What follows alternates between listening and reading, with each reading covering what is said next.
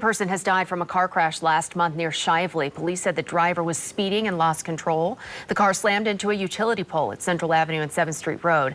17-year-old passenger Jasmine Burden died at the scene. Police say the driver died last week at University Hospital. His name has not been released.